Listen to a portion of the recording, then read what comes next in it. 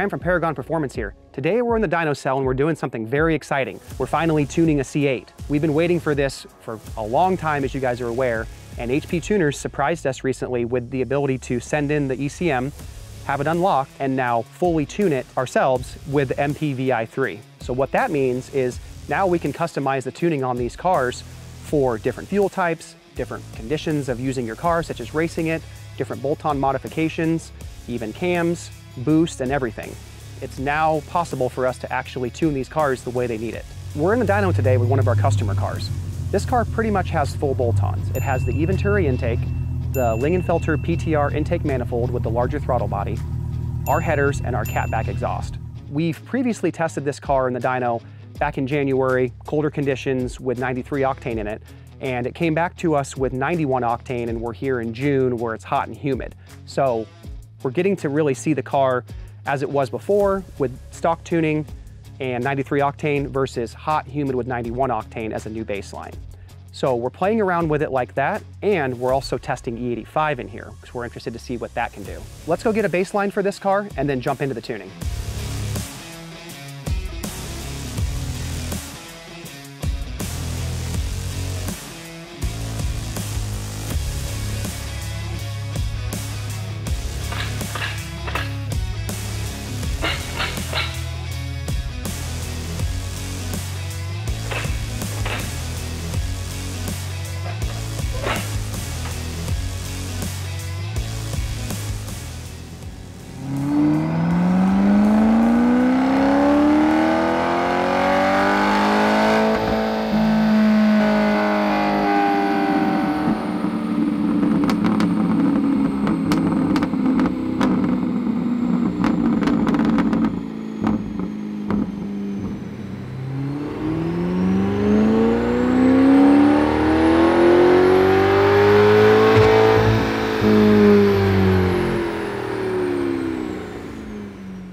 So here's what we found.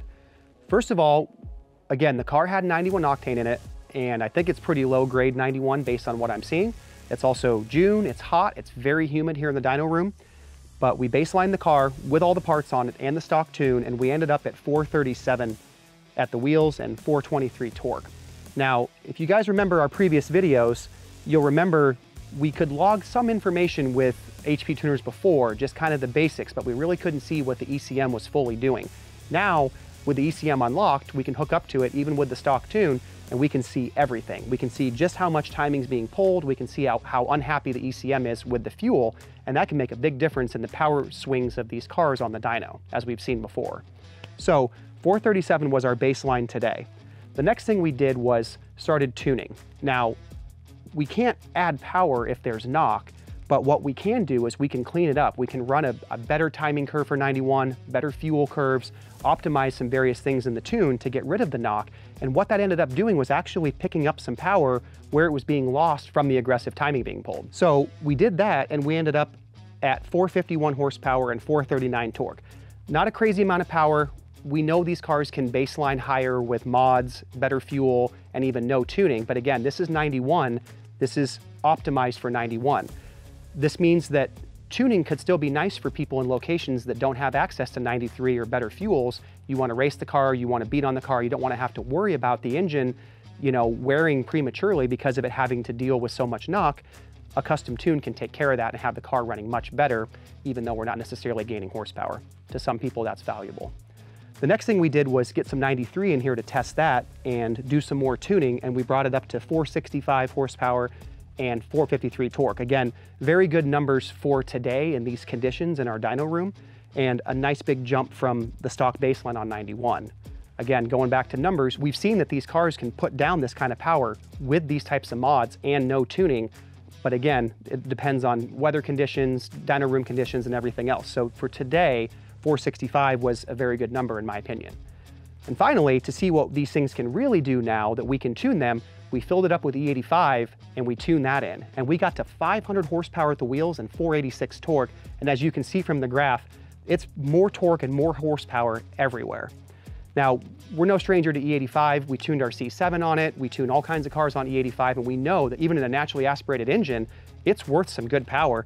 And we're seeing the full 35 horsepower compared to 93, again, in, in these conditions today. So that's pretty amazing. Now, we're gonna take a deeper dive into the tuning here in a future video. But for today, people that are curious about E85 and maybe seen others doing E30 mixes or saying you could just put some E85 in these cars and the ECU can adjust, to a degree, yes, that's true. As we've talked about before, the ECM in these cars is full-time closed-loop fuel control, which means it can use the trims to adjust for ethanol. But it's not nearly as ideal as specifically tuning the car for E85, which is what we did today. We told the ECM that this car has E85 in it, so that means all the fueling, the fuel trims, and we optimized the ignition timing, and ignition angle, everything in there has been optimized for E85 now, and that lets it run safe, smooth, consistent, and make this kind of power.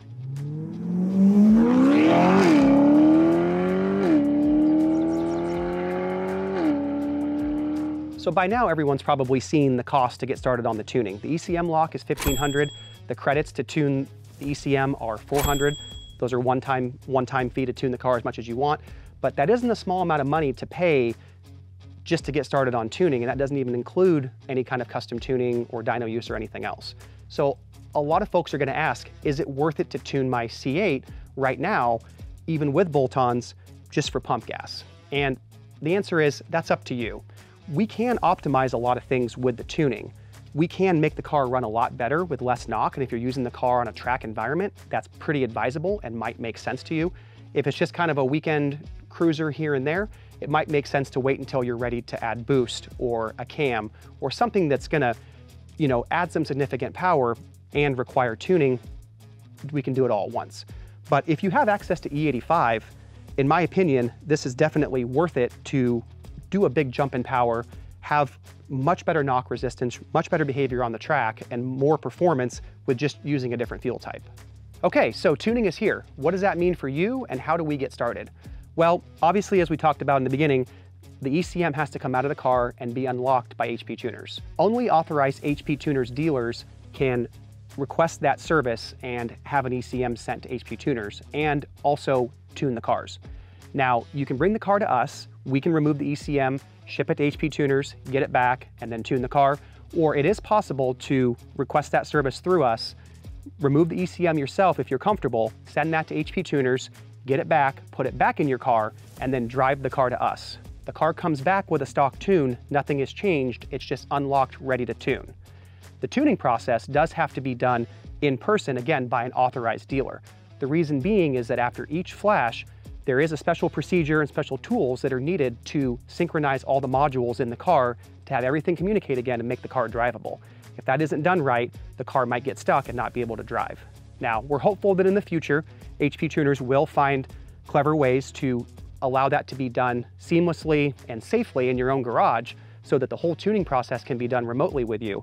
But for the time being, we do need the car in person to make sure it all goes well. So tuning might not make sense for everyone right off the bat, especially for stock cars or simple bolt-ons, simply because GM doesn't leave much power on the table with these cars.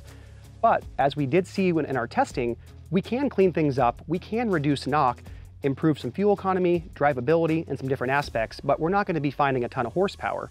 Now, as we saw with E85, there's a pretty good gain in horsepower there, so that could make sense for the crowd that's not ready to put a cam in their car or do forced induction. But for the people that are looking to do a cam, looking to do forced induction, this is huge. Now we can actually tune these cars exactly as they need for different fuel, different conditions, different driving styles, and everything.